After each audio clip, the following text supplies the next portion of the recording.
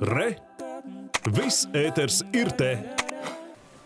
Globālā Covid pandēmija iepriekš un tagad karš Ukrainā būtiski ietekmējas ekonomiku, un tas atspoguļojas cenu pieaugumā visdažādākajās dzīves jomās. Līdz ar to pieaug risks nonākt finanšu grūtībās, ar to saprotot grūtības sekt ikdienas tēriņus un saistības. Tieslietu ministrija vēlas izstrādāt ceļa karti, interaktīvu rīku, kas iedzīvotājiem palīdzētu pārskatīt viņu budžetu, lai nenonāktu finanšu grūtībās, vai, ja tādas ir, atrisināt tās efektīvi. Stāsta Vita Anstrate. Dzīves dārdzība un cilvēku izdevumi aug ātrāk nekā iespējas nopelnīt. Līdz ar to speciālisti ir nobežījušies, ka arvien vairāk iedzīvotāju un uzņēmēju varētu nonākt finanšu grūtībās. Pērn veiktā pētījumā noskaidrots, ka aptuveni trešdaļa iedzīvotāju un uzņēmēju pēdējo gadu laikā ir meklējuši ar finanšu grūtībām saistītu informāciju. Bet riski nonākt sarežģītās situācijās nepilna gada laikā ir tikai pieauguši.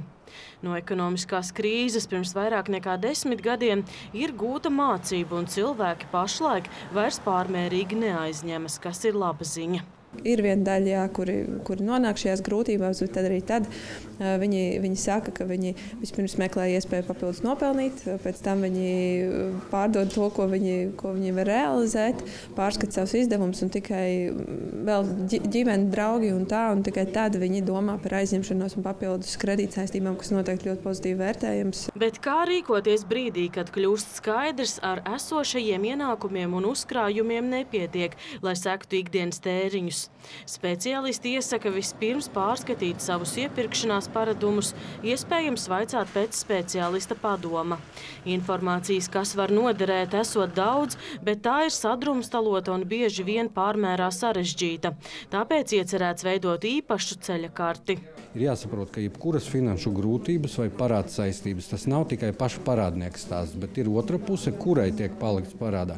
Tālāk vienmēr ir labāk, kad cilvēki prot atrisināt šos jautājumus un visas puses paliek apmierinātas. Nevis mēs nonākam līdz kaut kādiem smagākiem procesiem, kā maksātnespēja, bankrots, kur atkal ir jāiesaista citu nodokļu maksātāju resursus. Maksātnespēja gan jāuzlūko kā galējais solis tas, ka teiksim, fiziskajām personām varētu pieaugt šis saspīlējums finansēs un starp, finans, starp izdevumiem un ienākumiem, nu, tas ir diezgan paredzami.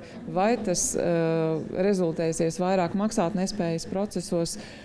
Varbūt kāds neliels process, eh, procents pieaugs, bet eh, to es vēl tā atturēšos tādus eh, secinājumus izdarīt. Skaidrs, ka tie pieaugošie, tie, tā, tā statistika, ka tie rēķini ir tik dramatiski pieauguši, nu, tas jau nekur nevar tā vienkārši izzust. Ja? Covid pandēmijā gan maksāt nespējas pieteikumu skaits nesot būtiski audzis, un to skaidro ar tā brīža dāsno valsts atbalstu grūtībās nonākušajiem. Vita Anstratīns Ivans, Latvijas televīzija.